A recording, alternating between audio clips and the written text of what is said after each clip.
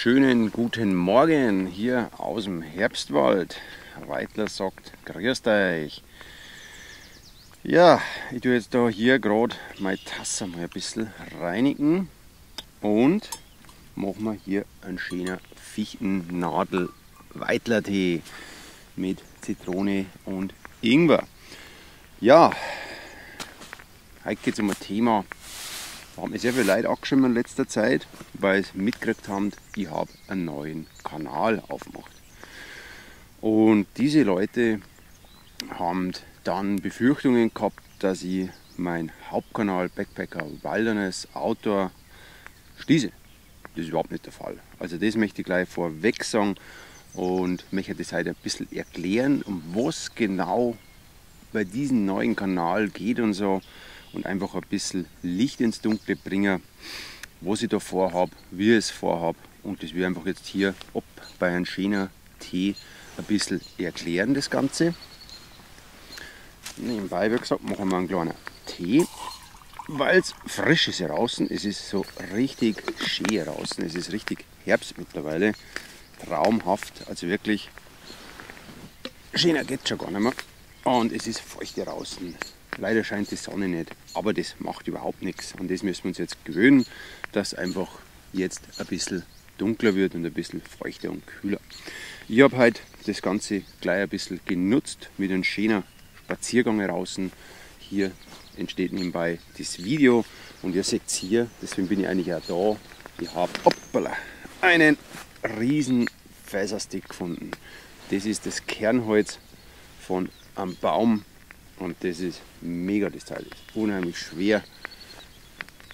Riecht, wow. Also das ist echt ein Gerät und den will ich zu Hause dann weiter verarbeiten, das Ganze. Ich war zwar jetzt erst auf Kindspansuche, ihr habt das Video gesehen, aber das habe ich gestern durch Zufall entdeckt. Ich bin ein bisschen spazieren gegangen am späten Nachmittag und habe dann einen Baumstumpf gefunden, der komplett auseinandergefallen ist, der war komplett marode und habe dann dieses Holz heute Vormittag herausgearbeitet. Es ist wirklich ein schöner Kienspann. Also, dann würde ich sagen, fangen wir mit dem Thema jetzt einmal an, mit meinem neuen Kanal und wie es mit meinem alten Kanal weitergeht. Messer ist frisch geschliffen, habe ich einen Beitrag gemacht und zwar auf meinen neuen Kanal, mein Outdoor Gear Channel, also Backpacker Wilderness Outdoor Gear Channel. An der Stelle, mir aufschaut, ist so marode da. An der Stelle jetzt einmal Danke an alle, die mir da schon ein Abo da lassen haben und viele Kommentare und schauen Sie das mit Freude an. Ist für mich sehr, sehr schön, dass so ein Kanal so schnell steigt, mit dem ich überhaupt nicht gerechnet. Aber warum ich den Kanal eigentlich gegründet habe, werde ich jetzt ein bisschen erzählen. Und zwar ist es so, dass ich jetzt schon ein paar, ein paar Jahre hier YouTube mache und auf meinem Kanal sehr viel nur interessiert sind an Ausrüstung, wo jetzt überhaupt nichts dagegen spricht. Ich mache das auch gern, aber in meinem Hauptkanal Backpacker Wilderness geht es eigentlich nicht nur um Ausrüstung, sondern es geht einfach um die ganze Message, wo ich euch ich rüberbringen möchte. Und zwar das im Wald gehen, dieses Verschmelzen mit der Natur, dieses Einswerden mit der Natur und die Natur für sich selber als Person zu nutzen.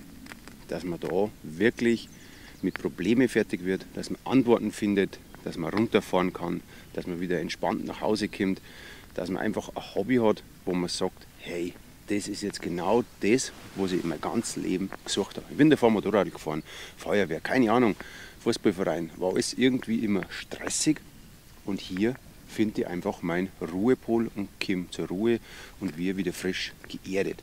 Und um das, genau um das geht es eigentlich bei mir in meinem Kanal. Und es hat sich so eingeschlichen, dass immer mehr nur um Ausrüstung geht. Und deswegen war die Überlegung schon sehr lange, dass ich einen zweiten Kanal gründe.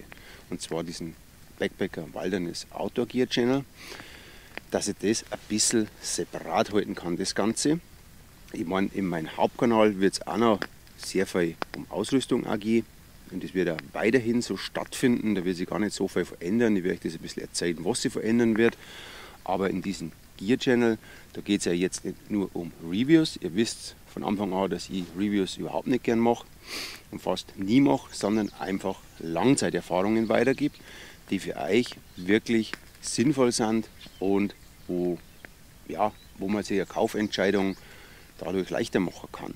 Und man kann wirklich Tipps erfahren, die wo andere YouTuber jetzt nicht preisgeben, weil die eben Reviews machen und zum Beispiel hier so eine Axt vorstellen oder so ein Messer und das wird nur vorgestellt und dann weiter gar nicht mehr stark genutzt. Bei mir ist genau umgekehrt, was sehr, sehr schwierig ist, das mit den Sponsoren zu verhandeln, dass ich einfach hier so eine Axt bekomme, kostenlos und kann die testen. Und das ist jetzt auch wieder super bei mir, weil ich dann einfach das Ganze kurz und auf den Punkt gebracht in meinem Gear-Kanal vorstellen kann. Ihr seht, ich habe jetzt schon ein paar Videos rausgehauen, so in etwa wird das ablaufen. Es wird sich auch ein bisschen was qualitativ verändern, noch, aber es wird weitgehend low budget gehalten, weil es geht da nicht um Unterhaltungswert wie bei Backpacker Wilderness Outdoor, sondern es geht einfach um die Daten und um die Erfahrungen, um die Langzeiterfahrungen, wo ich mit diesem Equipment gesammelt habe. Genau diese Erfahrungen, wo ihr draußen sammelt mit Equipment über lange, lange Zeit und unter verschiedensten Bedingungen, gebe ich an euch somit weiter. Das Ganze läuft so ab bei mir, dass ihr das ein bisschen vorstellen könnt. Mein neuer Kanal, ich gehe zum Beispiel runter, nehme jetzt irgendeinen Ausrüstungsgegenstand, ich denke gar nicht stark darüber nach, ich nehme ihn, weil ich ihn sowieso mitnehmen muss, halt wie so ein Messer jetzt wieder zum Beispiel. Gehe raus und mache was. Ich mache, wie gesagt, kein Review, kein professionelles. Vielleicht wirkt es auch deswegen nicht so professionell, das wird ja nur mit der GoPro gefilmt, dass man wirklich nur auf das konzentrieren kann. Und ich bereite mich darauf auch nicht vor. Ich gehe runter und sage das, was ich wirklich für Erfahrungen mit dem Teil gesammelt habe. Das Schöne ist, man kann es auch wirklich auf meinem Hauptkanal zurückverfolgen, dass es wirklich sehr lange nutze. Aber da könnt ihr mir sowieso vertrauen, da verzeihe ich sowieso ganz morgen, weil das ist überhaupt nicht meine Philosophie. Meine Philosophie ist wirklich das Ganze lang zum Nutzen, mit Sponsoren zusammen zum Arbeiten und das denen auch klar machen, dass man, wenn man sowas ehrlich bewertet und lang nutzt und die Zuschauer können das mit anschauen, dann baut die mehr Vertrauen auf und greift und ändert zu den Artikel bevor dass ich mir jetzt irgendwas vorstelle, was nagelneu ist und glänzt und einer verzeiht, das ist super, das ist das Beste, das ist ganz, ganz toll, das Beste ins neueste Material, aber er testet es nicht wirklich. Und das ist meine Philosophie.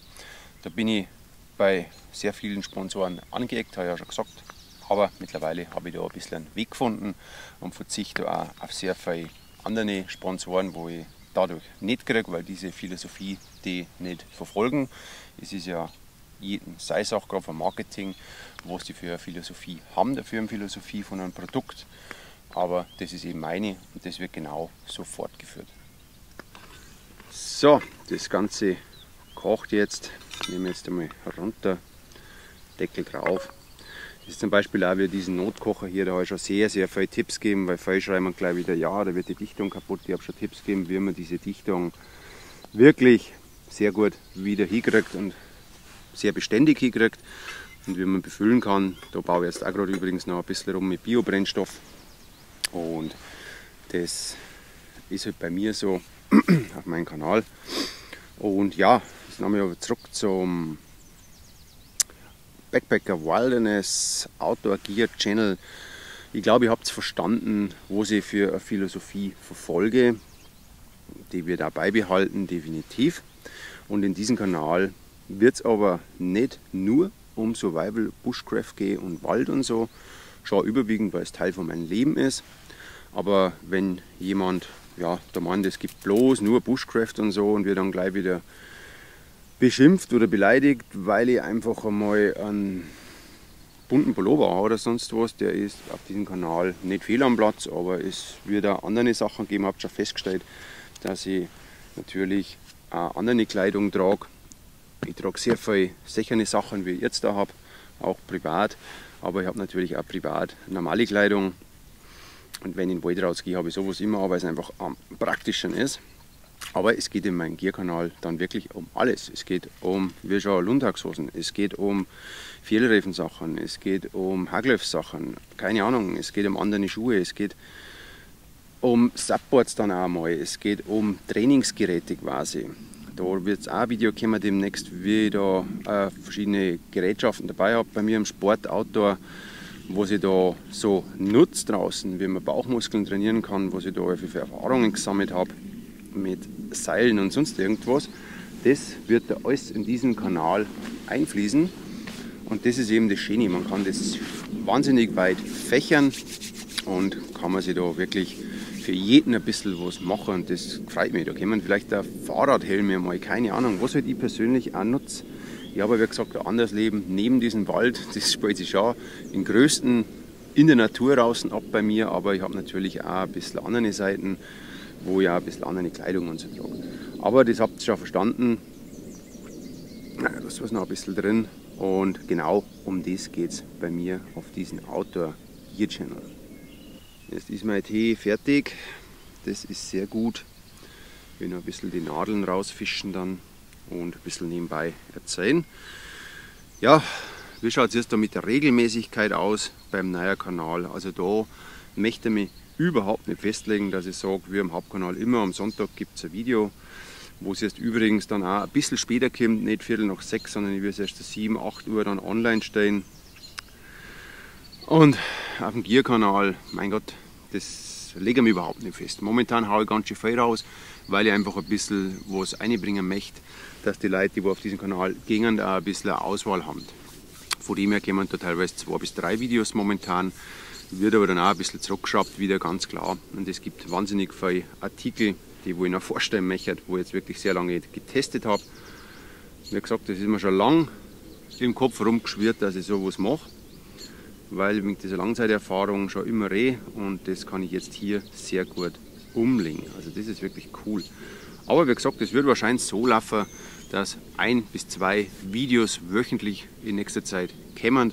Eins unter der Woche am Abend und dann als extra Bonus zum Hauptkanal kommt dann am Sonntagabend zur Primetime, sagen wir Viertel über acht oder keine Ahnung um den Dreh, kommt dann ein Video vom Gear-Kanal und dann hat jeder ein bisschen was. Und ja, wie es jetzt ausschaut auf meinem Hauptkanal, wo mich natürlich sehr viel gefragt haben, ob ich denn jetzt äh, dann keine Videos nicht mehr bringe und wie es ausschaut mit Übernachtungsvideos und so. Da möchte ich jetzt auch ganz kurz noch ein bisschen was sagen und das können wir uns erst einmal kurz anhören miteinander. Mmh, sehr heiß. Aber jetzt geht es weiter und zwar wegen diesen besorgten Zuschauern, dass ich meinen Hauptkanal keine Videos regelmäßig mehr äh, uploade. Das wird nicht der Fall sein. Der Hauptkanal ist mir einfach verdammt wichtig, weil da haben wir ein sehr großes Sortiment aufgebaut und ein Spektrum drin, das wo ich natürlich für meine, für mein Befinden sich erst ganz am Anfang befinde quasi. Also ich bin ganz am Anfang und habe da noch viele, viele Jahre geplant, dass ich das mache. Und von dem her wird es auf dem Hauptkanal auch weiterhin immer Videos geben.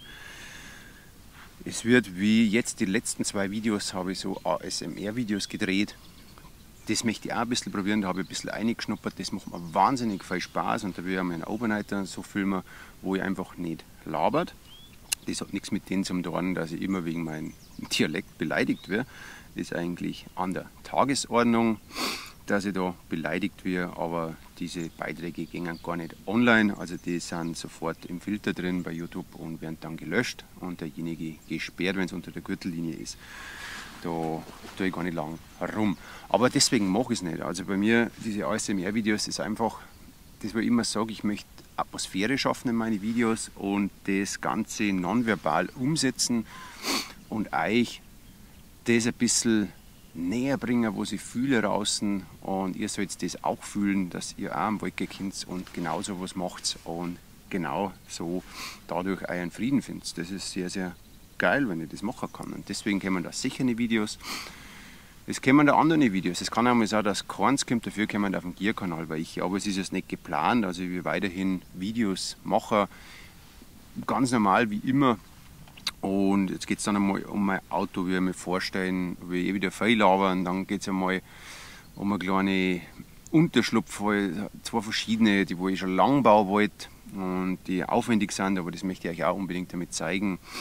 Und es geht um Übernachtungstouren, es geht um Touren jetzt dann zum Beispiel meiner Islandreise, wo ich schon angesprochen habe, die wird jetzt dann, dann demnächst stattfinden. Wie es ausschaut, hat sich leider ein bisschen nach hinten verschoben, durch Corona wieder mal, weil einfach die Einreisebestimmungen scheiße waren und ich keinen Bock hatte, dass ich fünf Tage in Quarantäne gehe in Island.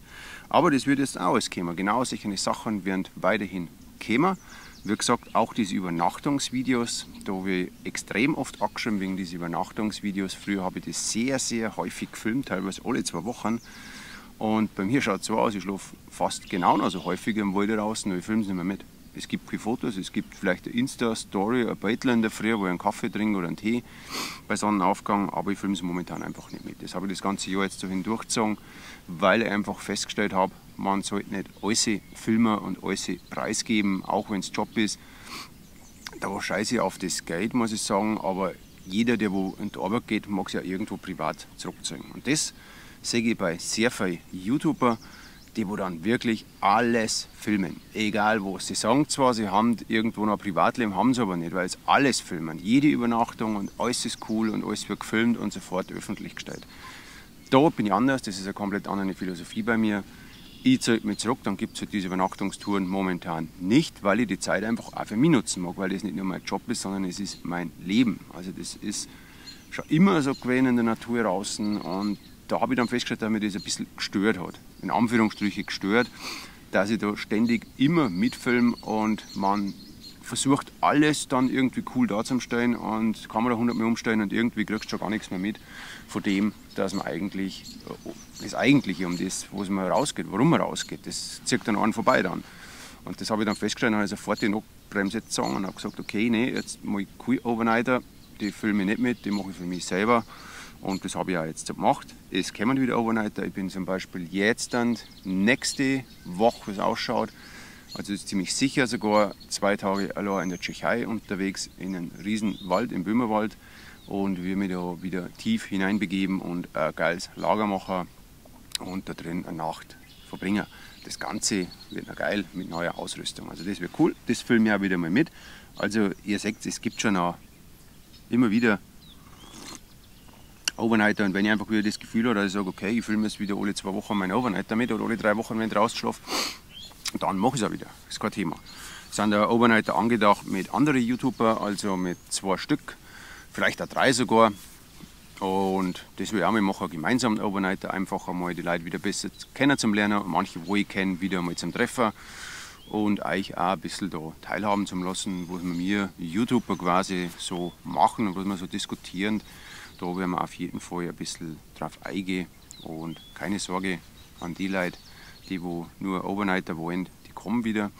So manch einer hat mir geschrieben, äh, keine Overnighter mehr, kein Abo. Okay, kann ich nicht ändern, aber ich bin kein reiner Overnighter-Kanal, das habe ich schon immer gesagt. Es war früher sehr häufig, dass ich es gefilmt habe. Den Grund, warum ich es nicht mehr so oft filme, habe ich euch mitgeteilt. Und es kämen wieder welche, keine Sorge. Ah, da genießt dein Tee draußen, hörst die Vögel und dann ständig Flugzeuge. Das ist echt bei uns so schlimm mit diesen Flugzeugen. Das könnt ihr euch gar nicht vorstellen, das ist so nervig.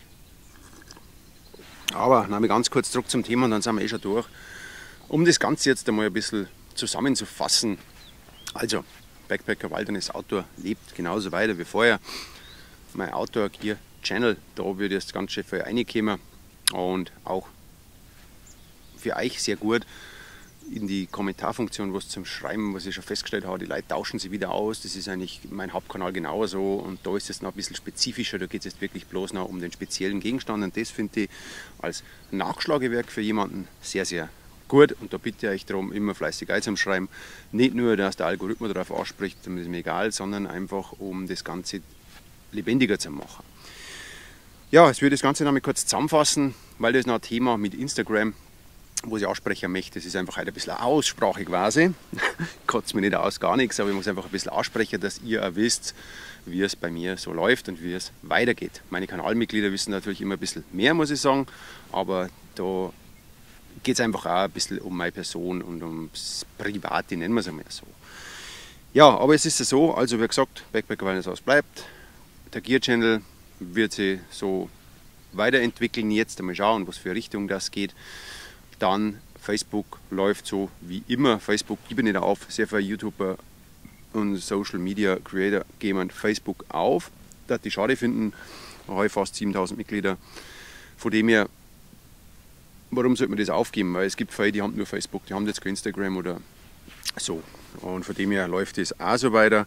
Bei Instagram ist ein kompletter Wandel gewesen bei mir, der mir sehr, sehr viel, also um die Tausende von Abonnenten gekostet hat.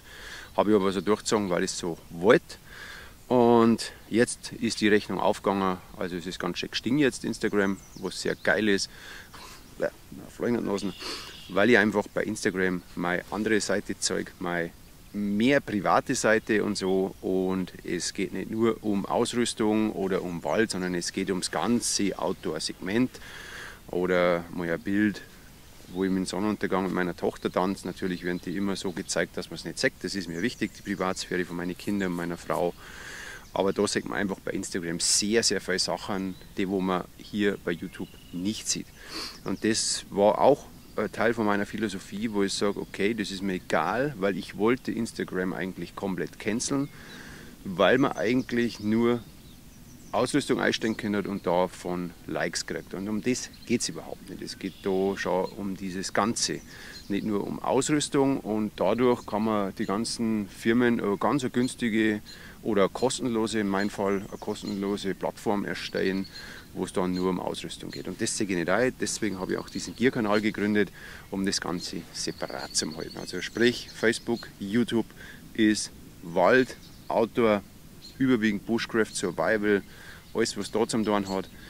Instagram ist dann wieder ganz andere Seiten von mir, wie ich auch privat ein bisschen so lebe und so und auch natürlich Wald. Da kommt alles ein bisschen ein. Wie gesagt, das ist ein sehr, sehr großer Teil von meinem Leben, spielt sich ja im Wald ab. Das ist einfach so. Also das ist mega geil und das taugt auch.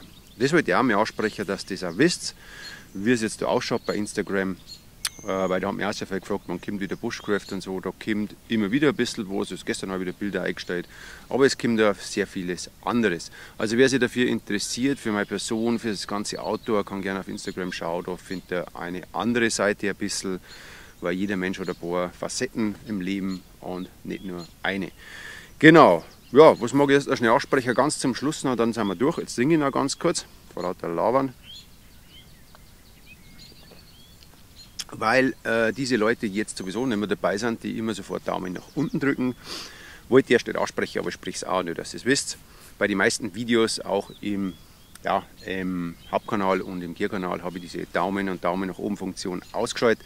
Habe ich bei sehr vielen anderen YouTube auch schon entdeckt, weil ich ja festgestellt habe, ich habe diesen Kanal gegründet, diesen Outdoor-Gear-Kanal und sobald ich ein Video einstelle, ist mir im Hauptkanal auch schon aufgefallen, ist ein Video online, äh, zwei Minuten, das war eine Stunde dauert das Video und nach schon fünf gefällt mir Daumen nach unten.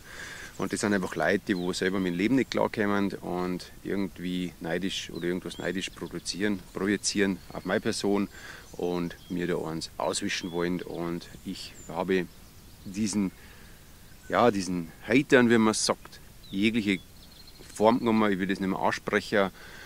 Und es gibt Filter, die fallen sofort alle in Filter ein, weil immer der gleiche Schmarrn geschrieben wird. Und auch diese Daumen nach unten Funktion und Daumen nach oben Funktion ist ausgeschaltet. Ich persönlich kann es noch sehen. Also wer Daumen nach oben druckt, freut mich definitiv. Also das ist auf jeden Fall. Wer Daumen nach unten druckt, kann es machen. Es wird keiner mitkriegen. Von dem her, weil ich einfach äh, das Ganze in keinem ersticken mag. Weil da habe ich keinen Bock drauf auf diesen Neid, auf was man sich, ja, was man sich jetzt selber aufgebaut hat. Ich kriege auch nicht das Geld in den Arsch reinblasen. Ich muss auch was da dafür und ich arbeite sehr, sehr viel dafür. Nur ich arbeite halt das Outdoor. Es steht jedem frei, das zu machen. Und ich habe sehr, sehr, sehr, verdammt sehr viel Energie eingehängt und Zeit, dass ich da bin, wo ich jetzt bin. Und ich bin auch nicht so, dass ich sage, okay, ich bin jetzt der und ich kann ein Geil schwimmen und alles ist Friede, Freude, Eierkuchen und ich habe ausgesagt fürs Leben und Scheißdreck. So ist es überhaupt nicht. Also ich muss auch schauen, dass ich meine Cent und Euros zusammenhalte und schaue, dass ich am drunten komme aber ich bin diesen Weg gegangen und ich bin jemand, der einen Weg geht und dann auch zieht dann durch. Und wenn ich auf die Schnauze falle, dann soll es das auch, dann stehe ich dazu. Ist kein Thema und dann gebe ich meine Tipps an andere weiter und dass der den gleichen Fehler nicht auch macht. Aber bis jetzt habe ich noch keinen Fehler gemacht. Okay, ein paar, aber nicht so viel. Okay, das war's eigentlich. Das wollte ich ganz zum Schluss sprechen, weil diese Hater schauen sich das Video gar nicht an. Die dann einfach nur eindrucken, und Daumen nach unten. Komische Gesellschaft, aber ich habe zwar schon mal hin und wieder Daumen nach unten gedrückt, aber meistens hat es irgendwas äh, mit Sachen zum Dorn, wo Tiere gequält werden und so und solche Sachen und das oder Kinder quasi irgendwie da blöd dargestellt werden und das mag ich einfach nicht. Also das ist ja auch, ja, kann man erkennen, dass das ein Schmarrn ist. Aber jetzt ein Video einstellen, wo ich im Wald rausgehe und Anleitung gibt zum Waldbaden und dann kriegst du gleich Daumen nach unten, einen nach dem anderen, die haben es nicht verstanden, um wo es geht. Wie gesagt, meine Botschaft, meine Message ist ja ganz andere, die habe ich euch erklärt und nicht nur Ausrüstung. Alles klar? Äh, schön, dass ihr zugeschaut habt bis jetzt. Dann war ein kurzes Statement von mir einfach einmal, wie immer wieder mal machen. Auch die Neujahrsansprache kommt wieder. Und ja, ich werde da das noch ein bisschen weiter bearbeiten, meinen Tee trinken und die Zeit noch ein bisschen genießen. Und dann geht es bei mir auch wieder ins Büro bis spät nachts. Meistens, ja, meistens immer nur nachts. Schau tagsüber bis um drei, dann ein bisschen frei, ein bisschen Wald gehen und dann wieder nachts. Soviel zu dem Thema, dass wir YouTuber nichts machen. Stimmt überhaupt nicht. Alles klar? Danke fürs Zuschauen. Ich wünsche euch alles Gute, bleibt anständig und sauber. Wir sehen uns bald wieder. Kommen ein paar geile Videos jetzt und schaut rein, wenn der Overnighter kommt. Der wird auch mega. Also, für euch. Der Weitler sagt Servus.